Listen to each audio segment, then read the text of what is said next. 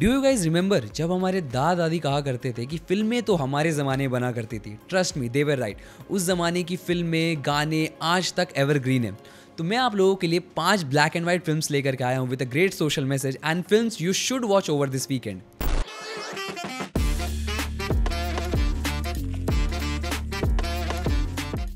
तो मेरे लिस्ट में सबसे पहला नाम आता है एक ऐसी फ़िल्म का जो रिलीज़ हुई थी 1953 में।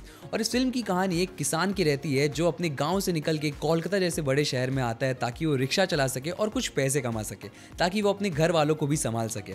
जी हाँ मैं बात कर रहा हूँ बिमल रॉय डायरेक्टेड फ़िल्म दो बीघा ज़मीन स्टारिंग बलराज सानी निरूपा रॉय एंड रतन कुमार। मेरे लिस्ट में दूसरी फ़िल्म आती है राज कपूर की most popular film Shri 420 starring Raj Kapoor and Nargis Dutt. Film की कहानी एक ऐसे आदमी की रहती है जो अपने गाँव से निकल के एक बड़े शहर में आता है ताकि वो अपने सपने पूरे कर सके। बट धीरे धीरे उसे काफ़ी प्रॉब्लम्स और चैलेंजेस फेस करने पड़ते हैं इमोशनली और फिजिकली मेरे लिस्ट में अगला नाम आता है एक ऐसी फ़िल्म का जो रिलीज़ हुई थी 1956 में और इस फ़िल्म को ऑडियंस से काफ़ी ज़्यादा प्यार भी मिला था।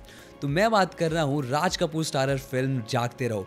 तो इस फ़िल्म की कहानी एक बेघर इंसान की रहती है, जिसे सिर्फ़ पानी पीने की वजह से जेल जाना पड़ता है। इमेजिन करिए, आज के ज़माने में कोई पानी पी रहा और उसे जेल जाना पड़े फूल की अगर बात करें तो फूलों के तो हम सब दीवाने हैं, लेकिन 1959 में एक फ़िल्म आई थी, जिसे ऑडियंस ने तो उस टाइम कुछ खास पसंद नहीं किया था। लेकिन टाइम टू टाइम जैसे ही लोगों ने ये फ़िल्म देखा, लोगों को ये फ़िल्म काफ़ी ज़्यादा पसंद आई। तो जी हम बात कर रहे हैं गुरुदत्त की मोस्ट अंडर फ़िल्म कागज़ के फूल की। और इस फ़िल्म के आज तक लोग काफ़ी ज़्यादा दीवाने हैं। सो so, अगर आपको हमारा रिकमेंडेशन पसंद आया तो please share it with your friends and hope so guys like the video and do please like and subscribe to channel and follow us for more such content